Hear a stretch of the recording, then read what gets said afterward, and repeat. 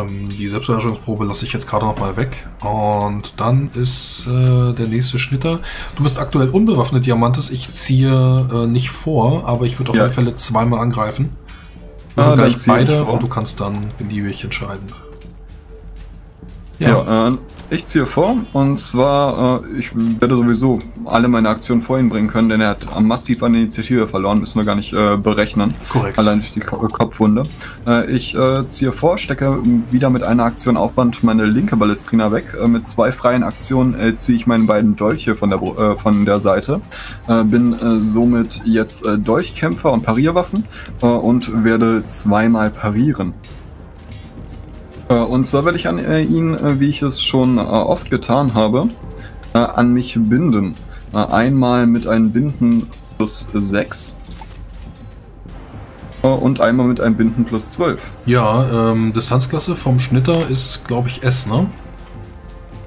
Äh, S, okay. Äh, gut, ist als Parade irrelevant, aber das können wir uns dann äh, merken. Distanzklasse ist für Paraden nicht irrelevant, da du in der falschen Distanzklasse keine Manöver ansagen darfst. Genau darum geht's. Ah, okay, richtig. Gut, dann muss ich äh, also parieren. Kein Ding. Dann müsstest du mit deiner Initiative äh, die Distanzklassen verkürzen. Und Ja, aber da wir also- schon, schon im Kampf sind, geht das ja nicht mehr. Richtig, genau. Da musst du unter, unter durchtauchen. Oder du brichst den Kampf ab und bekommst eine, äh, ein Ausfallmanöver da. Ja, ich werde einfach zweimal nochmal äh, parieren und dann in der nächsten Kampfrunde werde ich äh, mit der Initiative arbeiten. Äh, Ja, mit der er hätte eh noch einmal getroffen. Gut. Dann, ähm, ich muss gerade gucken, den von Abel mir, der hatte auch nicht getroffen. Das war die, nee, das war die 19, die Parade. Äh, ich kann auf alle Fälle Abel mir nochmal angreifen. Du kannst aber vorziehen, wenn du möchtest. Ich will parieren. Wenn. Alles klar. 3 ist getroffen, war ein ganz normaler Angriff. Das sind noch keine richtig guten Kämpfer. Ich pariere den. Mhm. Gut, dann war das die nächste Kampfrunde und wir gehen in die nächste, darauf folgende. Das gleiche Spiel wie eine Finte 5 und ein Wuchtschlag 5. Ja, würfel gerne. Ich habe gerade umgestellt, deswegen irgendwie jetzt zu. Ja, ich werde dich auf alle Fälle parieren, weil du bist eben noch bewaffnet. Dir das nicht. Äh, 12 wäre gelungen, aber mit der Finte nicht. Dann kannst du Schaden machen.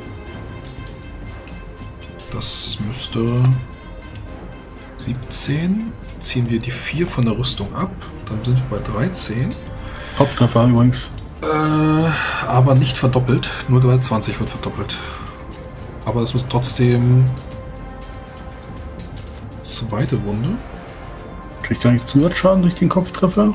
Ähm, Zusatzschaden bei Kopftreffern erst ab der zweiten Wunde, wenn ich mich nicht genau, täusche. ansonsten Alles klar. Brust, Brust wäre das, was, äh, was gefährlich wird. Da machst du den doppelten. So, äh, nicht den doppelten, sondern Zusatz W6. Gut, dann sind das 13. Und er kämpft weiter. Ich würfel jetzt trotzdem nochmal die Selbstbeherrschungsprobe. Das schafft er. Und äh, dann bin ich dran. Ich würfel einen Schnitterangriff auf dich. Und ich mache dann sogar eine Finte rein. Finte 5. Das ist noch gelungen. Und bei Diamantes haue ich zweimal zu. Und bei dir mache ich einen Wuchtschlag 5. Äh, Wunderbar. zumindest beim, beim ersten. Ja, dann werde ich auf jeden Fall vorziehen. Ja. Und zwar mit einem nicht modifizierten Angriff äh, werde ich mich aus äh, seinem äh, ja, Distanzklasse entfernen. Aus äh, wenn das denn gelingt. Das gelingt. Äh, somit ist äh, der Kampf kurzzeitig vorbei. Er hat offensiv umgewandelt. Und dann werde ich mich, weil ich wieder in der Kampf, wieder den Kampf anschließen, aber mit meiner hohen Initiative ihn auf Warte, warte, unterlaufen. warte, warte, warte. Also, was machst du nochmal? Entschuldigung. So, ich mache erstmal einen Angriff, äh, der ist nicht parierbar und äh, der ist äh, äh, nicht erschwert. Damit kann ich mich aus dem Kampf zurückziehen. Ja, wohin? Ähm, Stehe ich direkt am Rand? Ja, Dann, äh, genau am Rand. Ja, dann äh, zwei, hier ein paar Schritte nach links mit freien Aktionen. Ja, also du willst dann aus seinem, ähm, Aus du dein, löst seinem dich, reg- du Kontrollbereich. löst dich regeltechnisch aus dem Kontrollbereich. Dann bekommst du auf alle Fälle einen. Äh, würde ich kriegen, wenn ich nicht einen Angriff äh, Richtig, durch gemacht hätte. Distanzklasse vergrößern kriegt er den nicht, weil er vergrößert die Distanzklasse und dann steht er auf Aha. einer Distanzklasse, auf der er den Passierschlag nicht mehr kriegen darf und dann Okay. kann er einfach weggehen. Ja, So gut, dann habe ich es dann. Hm, gut, gut, gut. Und dann mit der zweiten Aktion äh, schließe ich mir den Kampf wieder an und nutze meine hohe Initiative, um auf H ranzukommen. Ich glaube, das geht nicht, denn da ihr beide schon in Kampfhandlungen seid, fängst du einfach in der größten Distanzklasse für alle beide an. Äh, Warum kann ich ihn dann nicht mit meiner hohen Initiative unterhalten? Weil es nur, für, weil es nur bei Kampfbeginn gilt.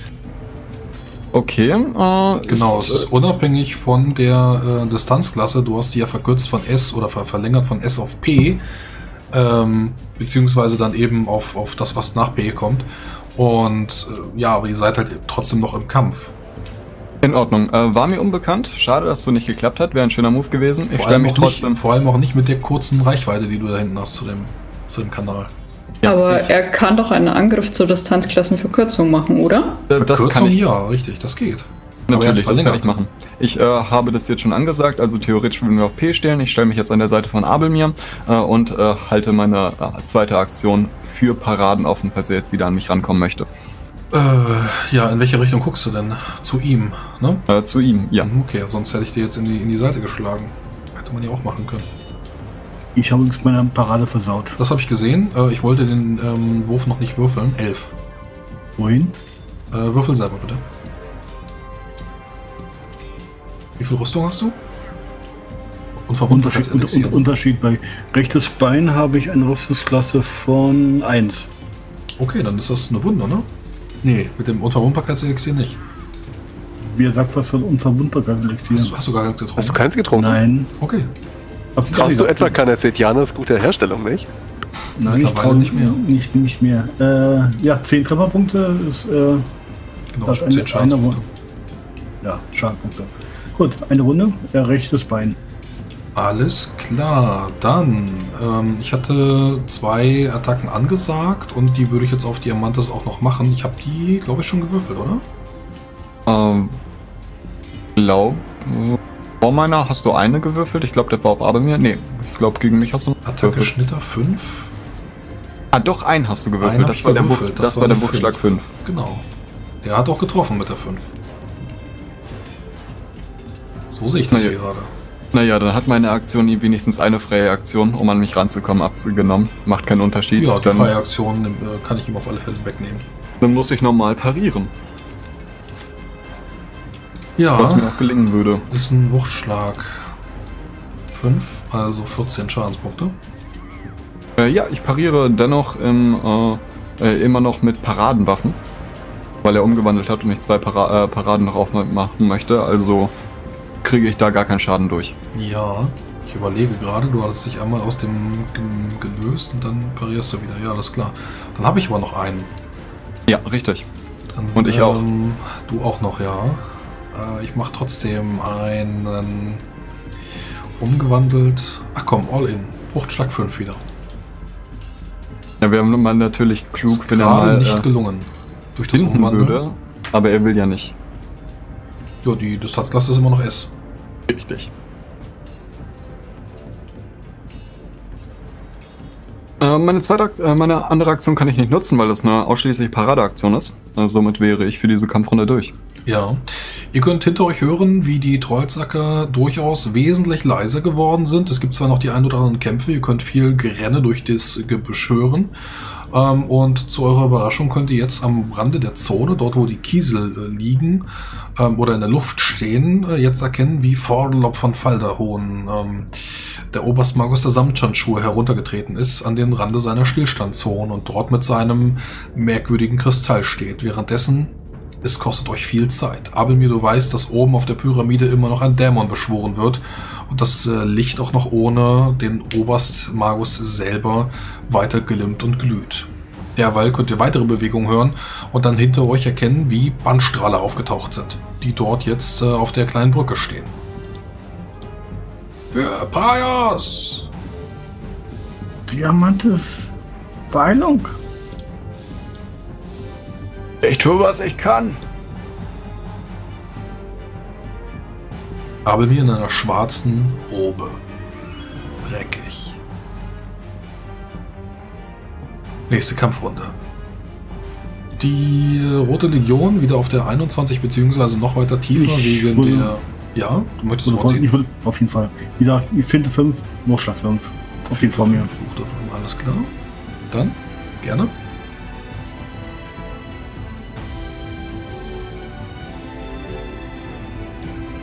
Gelungen, wie gesagt. Ich weiß nicht, ob du schon siehst oder nicht. Ja, ist gerade angekommen. Dann, ähm, ich pariere. Du bist gefährlich. 9. Wir haben eine Parade äh, von 12 und mit der Finte ist es dann. Was hast du für eine Finte angesagt? Fünf. 5. Dann ist es nicht gelungen. Ich weiß nicht, warum die rein plus zwei eintragen, aber das kannst du ignorieren, die plus zwei, da ist ja Quatsch. Mhm, deswegen fragte ich eben wegen der, wegen der plus 2. Dann kannst du Schaden machen. Das reicht. Dann beschreib gerne. Ja, nachdem ich äh, Diamant zugerufen habe, er soll sich beeilen, äh, konnte ich seinen Schwung ausnutzen und habe ihm den linken Arm oberhalb seines, Handge seines äh, Schultergelenks abgetrennt und äh, er fällt blutend und bewusstlos zu Boden. Nachdem er sehr viel Blut verliert in der Zwischenzeit. Und er blutet wahrscheinlich unten am Boden aus. Weil ich. Ich komme wahrscheinlich an Diamantkinger nicht mehr ran, vermute ich. Äh, nee, so wie er steht, auf keinen Fall. Alles klar. Ja, Diamantas, ich greife dich an. Und zwar zweimal. Ähm, ich sag wieder für Ja, da zieh ich vor. Wuchtschlag 5 an. Äh, wunderbar. Äh, denk dran, du hast nur eine 5er Erschwernis vom letzten Mal. Ja, Du, ich ziehe vor. Ich nehme jetzt nutze eine Aktion, um mein Kampfziel zu wechseln, ins äh, Raufen und äh, mache dann eine plus 8er Ansage, um ihn zwei Distanzklassen zu unterlaufen. Er darf dies parieren. Möchtest du vielleicht noch eine Finte reinlegen? Da, äh, darf er nicht, weil er offensichtlich umgewandelt hat. War es nicht letzte Runde? Nee, Nee, nee, er hat jetzt gerade offensiv umgewandelt. Ah, okay. eins. Und Dann machst du auch stehe keinen auf. Schaden ne? Kein Schaden, nein. Mhm, gut, schade. Oh, du hast da noch eine Aktion, oder? Ähm, warte mal, du hast auf der F- 26 und er ist der mit der Kopfwunde. Das heißt, du darfst deine zweite Aktion vor ihm machen. Äh, ich habe keine zweite Aktion mehr, denn ich habe eine Aktion gebraucht, um meinen Kampfstil aufs Raufen zu werfen. Ah, sehr wechseln. Äh, und äh, stehe jetzt auf Haran. Also eine ist das Klasse, äh, Klasse für ihn zu wenig. Das heißt, seine Angriffe sind plus 6 erschwert, plus Ansage, äh, plus äh, Paradeerschwernis durch letzte Runde. Dann lässt er seine. Ich, ich würfel mal eine Mutprobe. 12. Er lässt seine Waffe fallen und ähm, möchte dich würgen. Er würfelt einen Raufenangriff. Äh, da habe ich auch keine Werte, ich sage einfach mal 16. Komm, Schwitzkasten. Komm, Sachen Schwitzkasten an. 5. Okay, Schwitzkasten. Was tut er? Sekunde, ich muss nachsehen. PDS. Dachte nicht, dass er die Probe tatsächlich schaffen würde. Aber da lohnt sich das auf alle Fälle. Du hast ja auch keine Parade mehr, ne? Kannst du nicht Nee, parieren. Schwitzkasten. Wahrscheinlich Drain der Ausdauer, oder? Ähm, die folgenden Ringenattacken des Angreifers sind um 1, 2, 3 Punkte erleichtert und richten 1W6 plus 1, 1W6 plus 2, 1W6 plus 3 Punkte Schaden an. Ähm, er endet, wenn dem Angreifer eine AT oder dem Verteidiger eine Parade misslingt. Der Verteidiger kann als einzige Angriffsaktion Biss, Knie oder Schwanzschlag einsetzen, diese sind jedoch um 4 Punkte erschwert. Okay, dann musst du Knie benutzen, weil beißen darfst du regeltechnisch nicht und Schwanz Doch, hast du. beißen darfst du auch als Mensch. Ja? Okay. Ja, du kriegst nur, du machst halt nur weniger Schaden als ein Ork. Okay, gut. Oder ein Goblin. Ja. Äh, ich mache einfach mal 1w6 plus 1, hast du gesagt? Ähm, genau, 1W6 plus 1, dann Vier. nächste Runde dann 1W6 plus 2 und über der Nacht dann 1W6 plus 3 etc. Das sind etc. 5 TPA. Äh, 5 TPA. Kannst du natürlich, Natürlich plus abziehen. TPKK. Äh, ja, dann machen wir, machen wir nicht 5, sondern 6. Brust, ja, da kommt nichts durch. Ja, aber ich habe dich trotzdem im Würgegriff. Richtig. Da müssen wir mal gucken, was Abel mir da jetzt macht. Ähm, dann ist das meine Aktion gewesen. Abelmir, du hörst, wie Vorderlob von Falderhorn äh, dort steht am Rande und ähm, zu dir spricht. Orenes würde gerne mit euch äh, reden. Was gibt es dort, was gibt es dort zu reden? Ihr werdet verlieren und das wäre schade um euch, wenn ihr sterbt. Eure Freunde sind bereits tot. Ich werfe einen Blick zur Pyramide hoch. Du kannst sie nicht sehen. Weder ihre Leichen noch ihre Körper. Er lügt so schlecht wie euer Herr. Das ist keine Lüge. Ich sehe keine Leichen. Dann sterbt mit ihnen. Derweil, nächste Kampfrunde, die Bandstrahler laufen weiter. Und zwar. Das Problem ist, dass Abel mir eine schwarze Robe hat. Schauen wir mal. Ähm, Und ein blutiges Pentagramm neben sich in der Luft schwebt. und ein blutiges Pentagramm mit den äh, Zeichen von Belhalha neben ihm schwebt. Und ja, Sie machen auf alle Fälle Sturmangriffe. Und zwar auf Abelmir. Du kannst es aber sehen. Du hast mehr Initiative. Sie haben selbst eine Initiative hab- von 16. Ich habe noch eine Aktion übrig. Ich könnte ja noch. Nee, wir sind bringst nächsten, sie jetzt einfach zum wären, dritten Mal in den Kanal. wir wären in der nächsten Kampfrunde. Ähm, also das passiert in der nächsten Kampfrunde. Sie laufen auf dich zu. Komme ich, aus dem Start? komm ich, komm ich zwischen. Äh, na, sag schon, äh, Diamantes und dem Kanal da durch? Äh, also? Moment, also dieses hier und diese beiden liegen tot am Boden. Da kannst du jetzt drüber steigen. Hi- Hin, achso, hin, hin, Hinter ich ihm auf keinen Fall, nein. Da musst du. Nee, ich stehe direkt am Rand. Weil er hat ja noch einen Gegner vor sich. Also ich würde ungern dazwischen laufen. Du kannst nicht dazwischen laufen. Also dazwischen, dazwischen kannst du nicht laufen. Äh, Diamantes ist gerade im Schwitzkasten. Du kannst auch nicht hinter ihn laufen. Du kannst halt äh, an ihm vorbeilaufen, ja. Also ich stand eben direkt am Rand, dann bin ich zwei Distanzklassen unterlaufen. Also vielleicht mit einem Balanceakt. Boah, da will ich aber eine Athletikprobe von dir haben.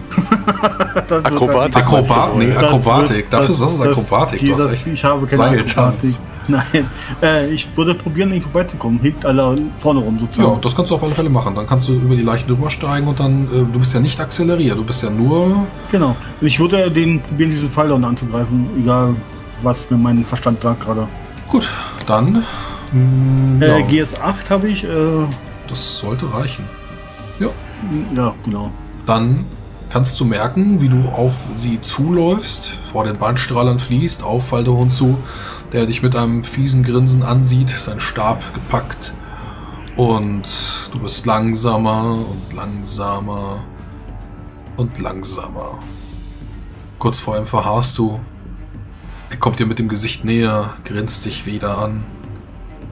Du siehst seine quecksilberne Zunge in seinem Mund, wie sie sich bewegt, fast wie eine Schlange. Du willst mit einem Schwert ausholen, aber er ist schneller. Er tockt und alles wird kalt.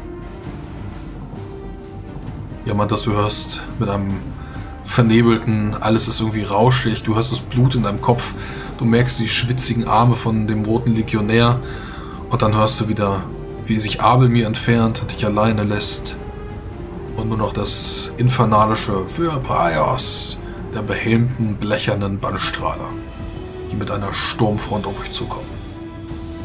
Auf dich, du bist alleine.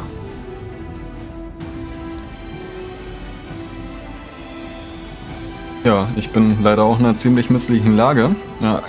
Ist mir verdammt! Und ich äh, versuche ihm dann Knie zu geben, weil das das Einzige ist, was von mir sich noch bewegen kann.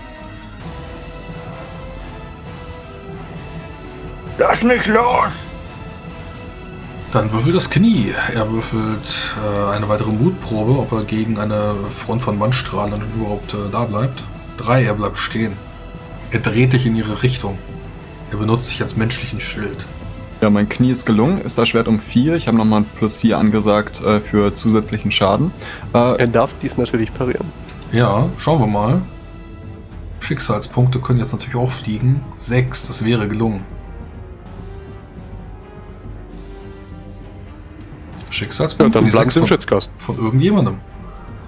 Drei, zwei, Ich bin nicht da. eins. Ja, hätte ja sein können, ist ein NPC. Kann man trotzdem ausgeben. Gut. Dann merkst du, wie die Front der Bandstrahler, fanatisch wie sie sind, keine Rücksicht auf dich nehmen. Vielleicht, du, du spürst noch, wie andere rote Legionäre von deiner Flussseite so rüberspringen, wie du es tust. Aber auch dann merkst du, wie gedreht in den Rücken du einen Sturmangriff von einem Bandstrahler in den Rücken bekommst. So, äh, ich nehme einfach mal die Sonnenlegion, die haben ähnliche, ähnliche Werte. Ähm, Schwert 18 Sturmangriff ist also eine plus 4, aber in deinen Rücken, ähm, das ist gelungen. ja, ist gelungen. Ja, ist der Dann minus 5. Mache ich 7 plus die halbe Geschwindigkeit, die setze ich auf. Äh, 7 halbe sind.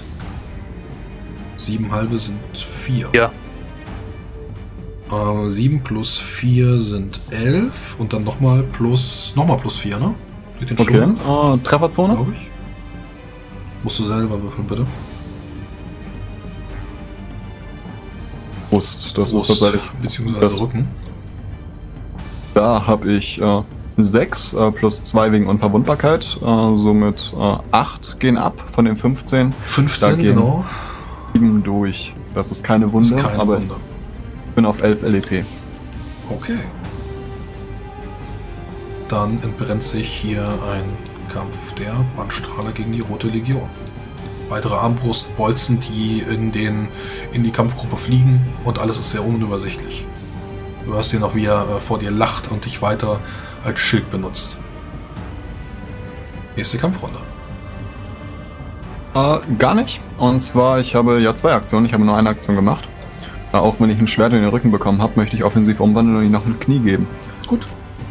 Äh, und äh, hatte er, er hat nur eine Mutprobe gewürfelt, er kann weiter parieren. Muss er nicht immer eine Aktion aufwenden, um den Schwitzkasten aufrechtzuerhalten? Nein, du denkst an, an einen Niederring oder so. Okay. Ich, ich, Also im, du, übrigens, du kommst ja auch nicht raus, wenn dir eine Attacke gelingt, die er nicht pariert. Du kommst hier nur raus, wenn dir eine Parade gelingt. wenn, ihm, ein- äh, wenn mir eine Parade gelingt. Also du solltest finden ansagen. Finden ohne Ende. Also du kannst den Typen jetzt attackieren, solange bis er umfällt, klar, aber du kommst hier nur raus, wenn du erfolgreich gegen, seine, gegen seinen Schwitzkasten parierst. Kann ich jederzeit parieren? Nö, wenn er dich angreift. Okay, wow. Ich meine, vielleicht gibt es irgendein Manöver, mit dem man aus Würgegriffen prinzipiell rauskommt, aber das ist mir nicht bekannt. Ja, mir auch nicht. Also, Also tun wir mal so als Nein. Okay, Machen wir- Doppel 1. Ähm, ich würfel trotzdem einfach mal gegen, weil 1 kann ich trotzdem würfeln. Ich mach trotzdem Möchte das jemand chippen? Aber mir. 1,19, das ist nicht bestätigt. Also ist halt, oh, wow. Ja, ist, ist ja egal.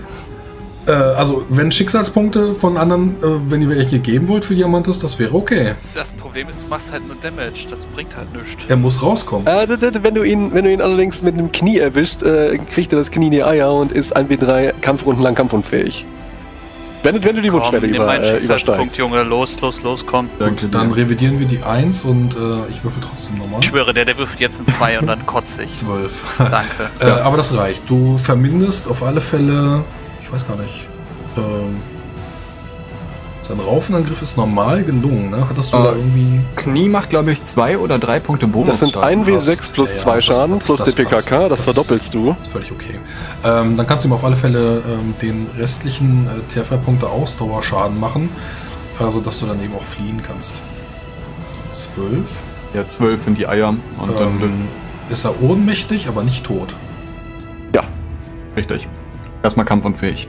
Gut, dann ist das deine Kampfrunde. Nicht, dass das beim Herannahen einen Mannstrahl einen Unterschied machen würde. Und ähm, dann kommt die nächste äh, Kampfrunde. Bandstrahl schlägt wieder zu, und zwar in deinen Rücken. Ja, ich will da tatsächlich vorziehen. Ja, okay. Möchtest du laufen? Ah, Ich möchte nicht unbedingt mit äh, den. Ja, also ich, ich habe halt gesehen, dass Abel mir hier reingelaufen ist und er ist zerbrochen, ne? Ja. Es, es macht keinen Sinn für mich, da ebenfalls rein zu äh, äh, laufen, also springe ich ins Wasser. Schwimm davon. Okay, du bekommst trotzdem einen Ausfall. Und der trifft. Meinst du ein Passierschlag? Ein Passierschlag, genau. Oh, richtig, Dann Nummer trifft 10 äh, wahrscheinlich in den Rücken.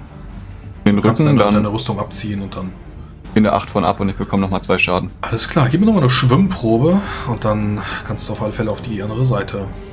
Während äh, der Bandstrahler den roten Legionär tötet und Vorlob Falderhohn äh, die anderen Legionäre anweist. Du kannst noch ein Brüllen hören und würfel nochmal eine Sinnschärfe-Probe. Dann gebe ich dir die Dafür ganze. Szene.